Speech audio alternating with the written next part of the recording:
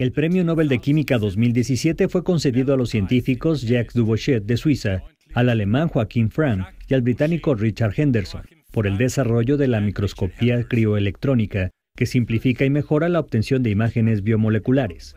La Real Academia de Ciencias de Suecia precisó que los galardonados han desarrollado la microscopía electrónica, una técnica que permite observar en alta resolución biomoléculas, un método que ha llevado a la bioquímica a una nueva era.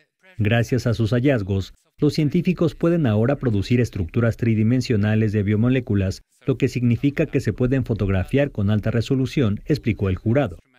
Durante mucho tiempo se creyó que los microscopios electrónicos solo eran adecuados para la obtención de imágenes de materia muerta, porque su potente haz de electrones destruye el material biológico. Notimex.